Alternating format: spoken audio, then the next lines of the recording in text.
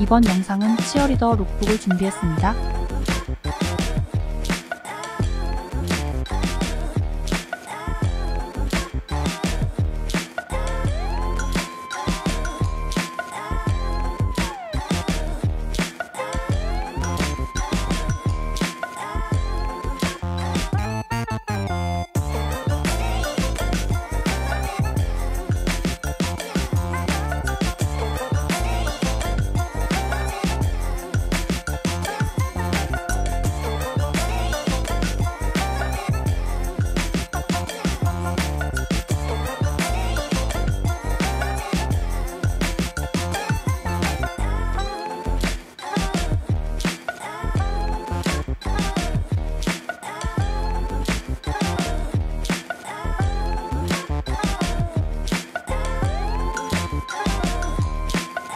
영상이 마음에 드셨다면 구독과 좋아요 부탁드립니다.